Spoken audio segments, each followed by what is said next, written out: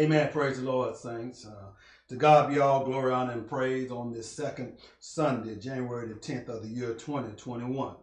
This has been an unusual week, despite all the things that have gone on. It's still been a good week. Amen. Uh, for one, God has allowed us to see it, and on the other hand, He has been a keeper in it all. Amen. Can, can we just bless His name? Because truly, He is. Hey, glory! He is worthy. Thank God. Amen. To God be the glory. Before we go on, Amen. I'd like to give a congratulatory uh, shout out to Brother Demarcus Watson and Sister Kedra Watson on being new homeowners. Amen. Amen. So Amen. we thank God for them. We thank God for what He's doing in their lives, and may uh, the, their future endeavors be just as blessed. Amen. Um, also, Amen. I spoke to um, Brother Chris Keys this morning. Uh, for those who know Deacon Keys, uh, on Deacon Kenneth Keys, please keep him in prayer. Uh, uh, from my understanding, he's fighting for his life. Amen. And, and we want to make sure we keep the family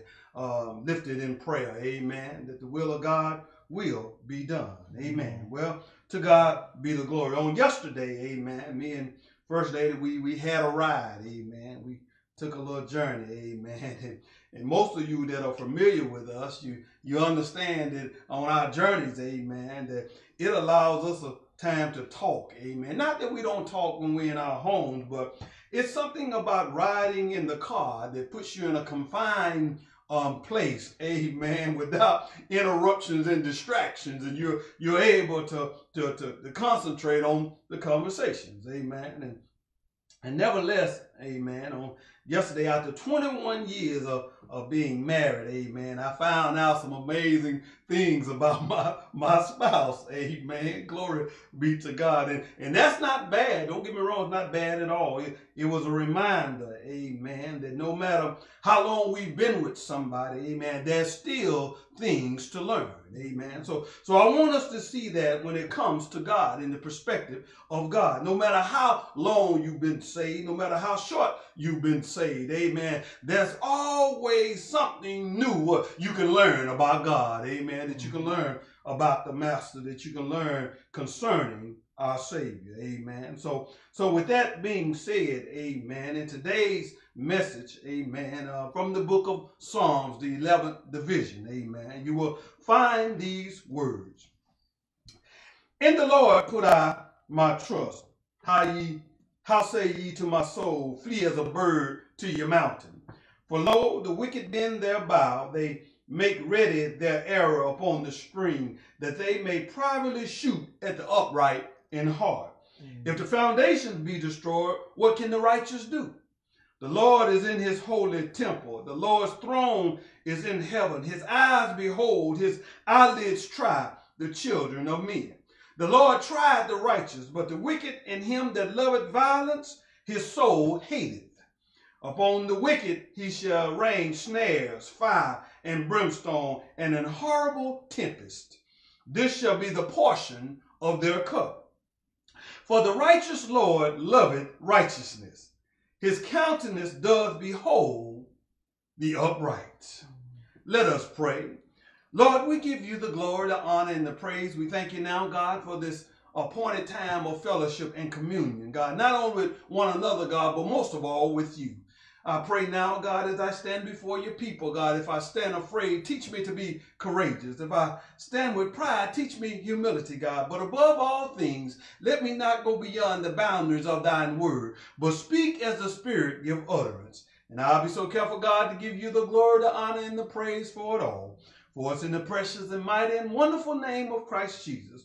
We do seal this prayer by the gift of the Holy Spirit. Let the church say amen, amen, and amen. Amen. Well, uh, when it comes to learning, amen, saints, um, we will learn from this particular division of Psalms uh, that we're going to have to make a stand, amen. So today, allow me to just talk from that topic. Make a stand. Tell your neighbor, make a stand. Make amen. A stand. Matter of fact, tell yourself, mm-hmm. make a stand. Make amen. A stand. See, um, the book of Psalms itself is the 19th book of the Bible. Amen. It has 150 uh, chapters. Amen. 2,461 verses for over 43 2,000 words, uh, two, over 2,000 verses of history, 160 verses of fulfilled, and, and 274 verses of unfulfilled prophecy.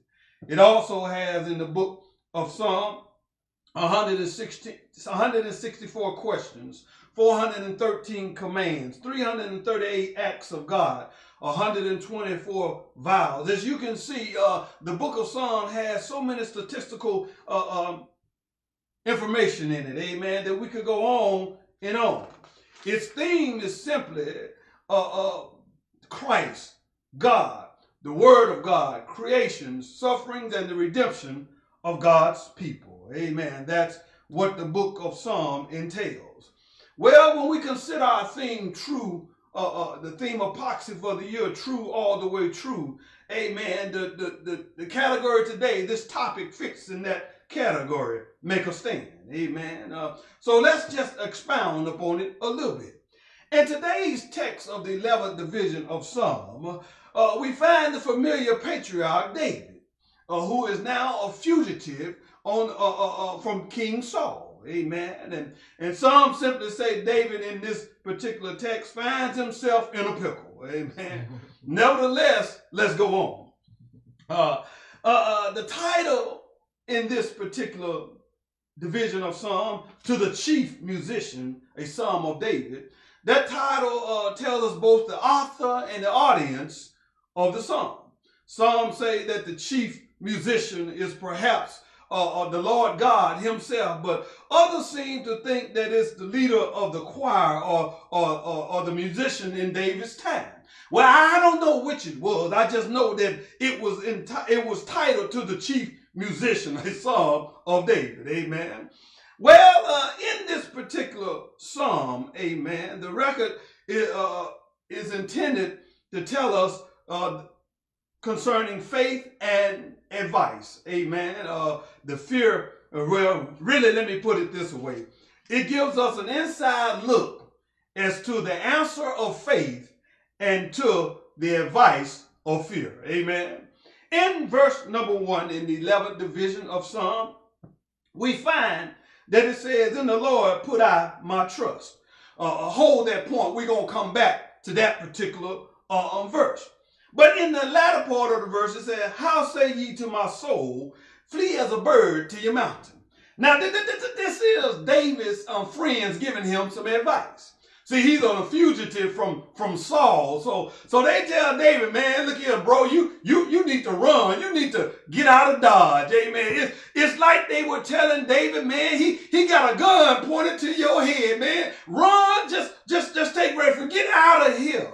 Amen. And, and this is what they're saying. In verse number two, they go head on and they say, For lo, in other words, look, the wicked bend their bow, they make ready their arrow upon the string, that they may privately shoot at the upright in heart. This, this is what they are saying to, to David in the 11th division of Psalm. They said, look, man, uh, uh, they they they gonna take you out in secret, man. They they, they they they got something going on, and they really want you, amen. So uh, uh, it just lets us know as saints we have to be careful. Amen. See, we, we're afraid of the thing that we don't know. Uh, uh so, so they were using manipulation here to try to get to David. Amen. Uh, in verse number three, th- these same friends go on and they say, if the foundations be destroyed, what can the righteous do? In other words, they were telling David, look, King Saul's kingdom is already on its way out. The, the foundation has been broken. So, so who are you to step in? Well, I mean, what, what, what can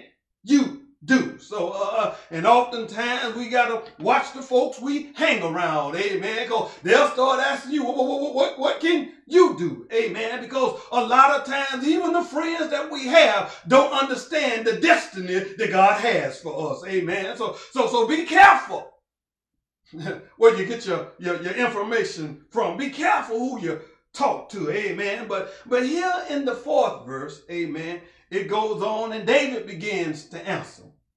Uh, those same friends. David said, Look, um, the Lord is in his holy temple. The Lord's throne is in the heavens. His eyes behold, his eyelids try the children of men. He said, The Lord tried the righteous, but the wicked in him that loveth violence, his soul hated. Amen. Upon the wicked he shall rain snares and fire and brimstone and, and horrible tempest. This shall be the portion of their cup. Amen. David simply came back. He said, look at here. He said, I know y'all might not understand who I am. Y'all might not understand what I've been anointed for. Amen. You don't even understand my destiny. Amen. But the one who holds my destiny, let me remind you of where he sits. Amen. He sits in the heavens. The, the earth is his. He, he can do what he will. He can do what he won't because he's the almighty God. He sits on the throne that's in heaven and he's looking about. I'm not concerned about the, the evil ones. I'm not concerned about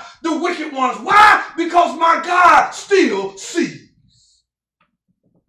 uh, uh, David said, he behold everything that they do. Amen. He, he's watchful and he knows. Amen. Uh, he's a matter of fact, David goes on in, in the fifth verse. Uh, he said, the Lord tried the righteous. He said, but the wicked and him that loveth violence, he said his soul hated. He's, he said, so don't y'all be concerned about them. Amen. Cause God's got them. He's watching them. Matter of fact, God is concerned about me. And because God is concerned about me, he hated everything uh, uh, uh that wants to do me harm. Mm. Amen. Mm. David goes on and simply says that God uh, uh, hates the wicked and, and them that love it violence. Amen. In verse Number five. So, so David was beginning what? To make a stand. Amen. He was beginning to let his friends know where he stood. Amen. I wish somebody say, make a stand. Make a stand. Mm. Amen.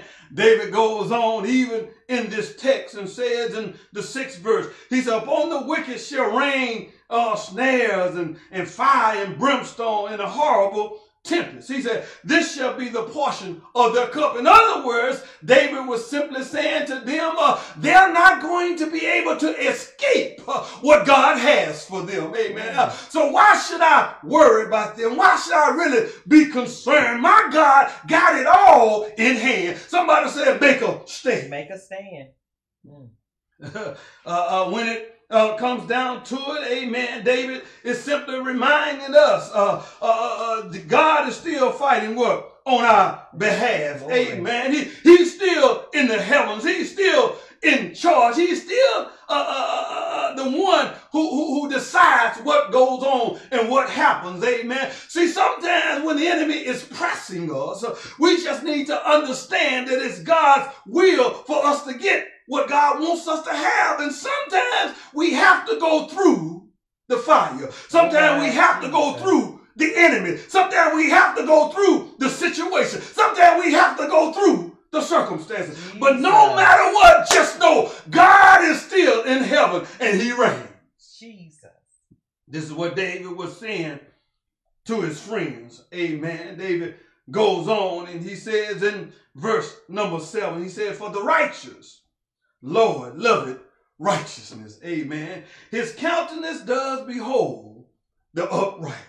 Now David done gave them his spiel. David done let them know, hey, look at here. I, am not going to be concerned. Amen. All this fear y'all trying to Jesus. put on me. All oh, this God. fear y'all trying to put in my man. All this fear y'all trying to put in my heart. But David said, let me remind you, this is where we go back uh, to verse uh, uh, number one. Amen. David said, let me remind you that in the Lord put I my trust. Amen. He said, I'm not going to let this fear take hold on me. I'm not going to let what you saying discourage me. I'm not going to let what you say to me turn me away from my God. David said, in the Lord put I my trust. Amen. And I began to wonder, why could David say this? Amen. And, and so I want to give you a few things, a few reasons why David could say, in the Lord put I my trust. Amen. You see, in Psalm, the second division of Psalm, the 12th verse, amen. Uh, I'm not going to read it, but I want you to understand what David was saying.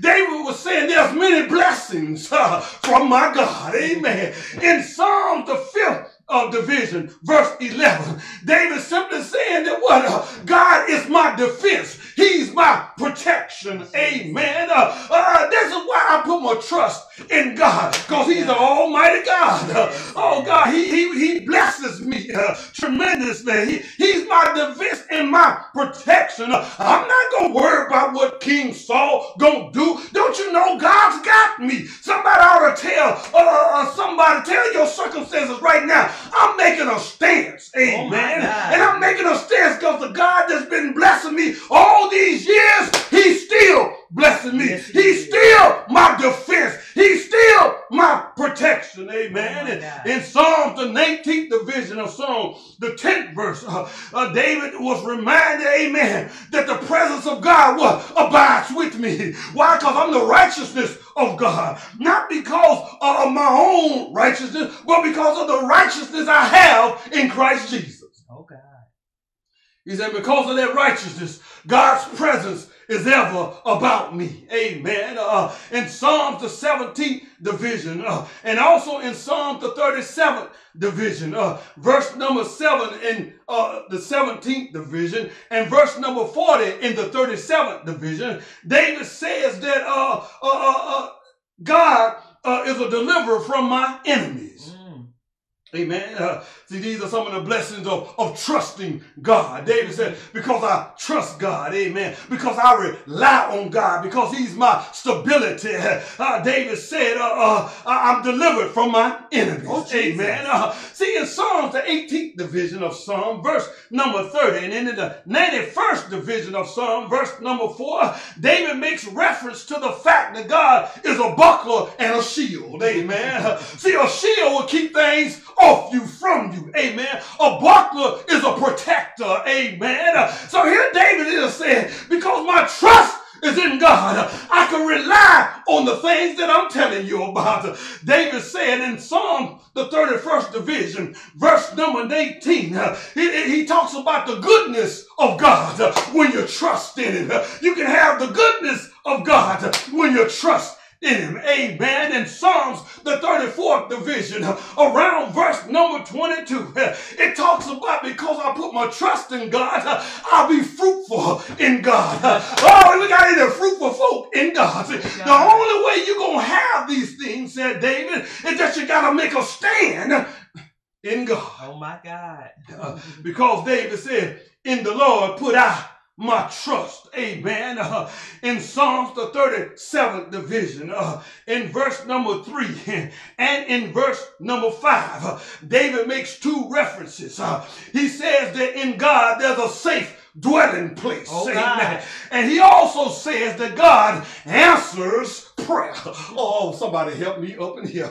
Uh, David said, In the Lord I put my trust. Amen. And because I trust God, it's a safe place to be. It's a safe dwelling place. And not only is a safe dwelling place, uh, God not only hear my prayers, but he answers. So I ain't concerned about this fear you trying to throw on me. I'm operating in faith Oh, because I trust the Lord. Ah, David goes on. Amen. He said, In the Lord put I my trust. Amen. And, and, and since I have my trust in God, David makes reference to Isaiah, the 26th chapter, verse 3, when God said he'll give you a perfect peace. Amen. See, when you trust in God, uh, you can have a peace that uh, uh, uh, that's there no matter what. A peace in the midst of a storm, peace in the midst of madness, peace in the midst of, of, of whatever's going on. Uh, Why? Because God will give you a perfect peace. Somebody said, when you trust Him, Oh, when you my make a stand. Jesus. And then also in that same book of Isaiah, that same chapter, verse 26, amen, uh, in verse number 4, David said, when you trust in God, amen, he'll give you an everlasting strength. Jesus. Uh, see, he'll pick you up when you're down. Amen. When you think you can't go through, he'll, he'll push you on through, right? He'll give you an everlasting strength well, from the inside by the gift of his Holy Ghost. Amen. Ah, somebody say, I'm going to make a stand I'm gonna make a stand. Jesus. because I trust I trust. in the Lord. Because I trust in the Lord, this fear won't take hold of me. Amen. Because I fear in the Lord. I'm going to put this fear in its place. According to Ephesians, the sixth chapter, Paul the apostle in the 13th verse, as he talked to the Ephesian folk, he told them, Wherefore, take unto you the whole armor Oh, of God, God. that Oh. ye may be able to withstand in the evil day. And having done all, he said, to stand. Paul told the Ephesian folk that. He said, know what Paul said? Make a stand. He said, but if you're going to make a stand, amen, if you're going to trust in God, if you're going to make this stand, Paul went on further in that same sixth chapter of Ephesians uh, uh, in verses 14 and 18. He said, now if you're going to make this stand, amen, there's certain things you need to put on in order to make the stand, amen. In verse 13, he said, put on the whole armor. In other words, Paul said this. He said uh, he was encouraging the saints to stand in the 13th verse, but in the 14th verse, he was saying simply, if you're going to stand, be dressed for the occasion. If you're going to go to war, be dressed for the occasion. Uh, if you got to fight, be dressed for the occasion. In the 14th verse, he said, when you dress, uh, uh, he said, when you got the whole armor on, he said, in, in the latter part of 13, he said to stand. In verse 14, he said, stand therefore. Uh, somebody say, make a stand. Make a stand. Oh, glory, have mercy. He said, stand therefore, having your loins girt about with truth, With truth. and having on the breastplate of what? Righteousness. Amen. Glory. Have mercy. That's the same righteousness in the 11th division of the book of Psalm in verse number seven, when he said, For the righteous Lord loveth righteousness. Amen. Why? Because his righteousness is found in his armor. Amen. The same armor that he's told you what to put on and stand. Jesus. In verse 15 of the sixth chapter of Ephesians, he goes on and said, uh, and your feet shod with the preparation of the gospel of peace. Above all, taking the shield of faith. Amen. Because why? I got my, my, my, my, my, trust in God. I got my faith in, in God. He's above all taking the shield of faith, wherewith ye shall be able to quench all the fiery darts of the wicked. Amen. See, sometimes, amen, you, you, you got to have your shield of faith to put fear in its place. Amen. You got to have your shield of faith to put even some of your friends uh, in place. Hey, uh, but nevertheless, in the 17th verse of the sixth chapter of Ephesians, he says, and take the helmet of salvation. Know that you've been born again. Know that you've been saved. Know that you've been reconciled by Jesus. Know that you've been redeemed by the Master. And he said, the sword of the Spirit, amen, which is the word of God. That's why we got to read the word of God. to get it into our spirit, the spirit that God's put in you. Amen. Why? Because it gives you something to fight with. Amen. And, and it'll give you a reason. Amen. Understanding of knowledge of why you fight. Amen. And it'll give you the wisdom to know how to fight. Amen. Uh, in that same book, amen, of the sixth chapter of Ephesians, uh, Paul finished it off with the uh, Ephesians by simply saying this. He said, praying always with all prayer and supplication in the spirit. Why? Because I'm trust in the Lord and, and watching thereunto with all perseverance and supplication for all saints. Uh, simply Paul was saying to the Ephesians, amen. He said, uh, uh, make a, a stand. Amen. He said, if you really trust God like you say you do, make a stand. Amen. Uh, put on the armor. Amen. Be the righteousness of God, uh, so that when your enemies come, amen, you know whom you trust. You know who your confidence is in, amen. Even with your friends, amen, that don't understand your destination, don't understand your destiny in God. You'll be able to tell them, uh, I understand what you're saying, but for me and my house, amen, we're gonna serve God, amen. I put my trust uh, in the living God. I put my trust in a God that won't fail. I put my trust Jesus. in a God that's watching my enemies every move. Amen. And because he is a God of wisdom, a God of knowledge, and a God of understanding, he's got me covered.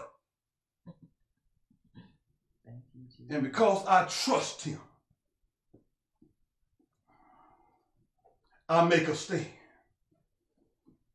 You ought to tell somebody, I make a stand in righteousness. Ah, Jesus. I make a stand in holiness.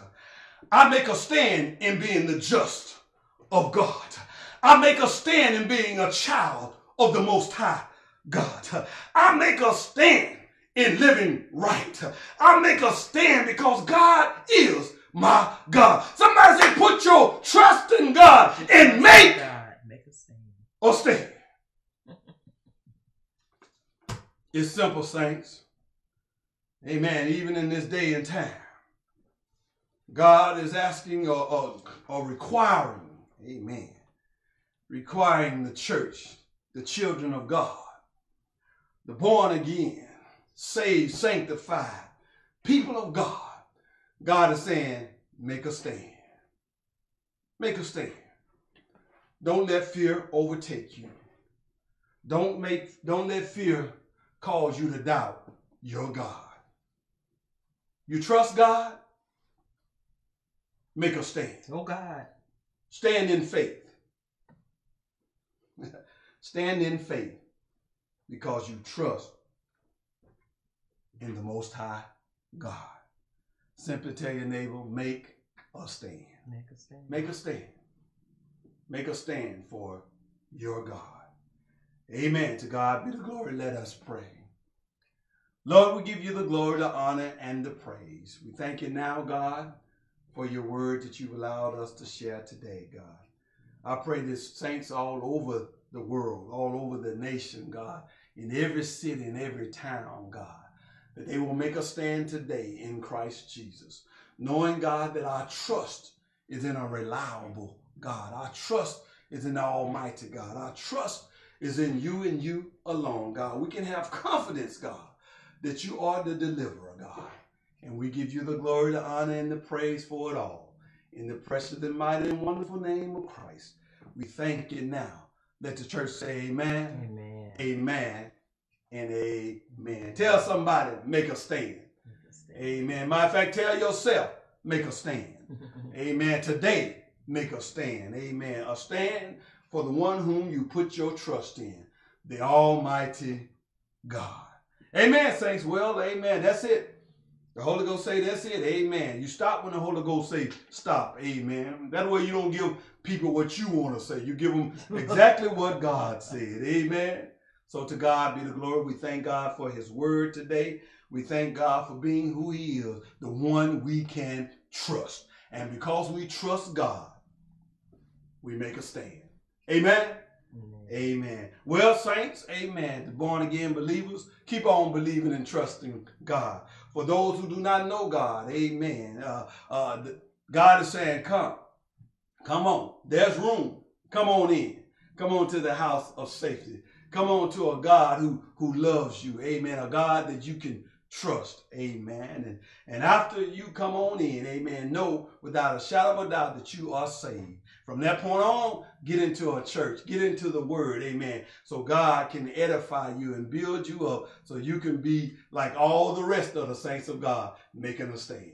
Amen. Well, to God be the glory. We thank God for this time. Amen. We thank God for this time of fellowship and communion, not only with Him, but with you, the saints of God. And until then, as always, amen. We leave you today saying, be blessed, be thankful, and be in God.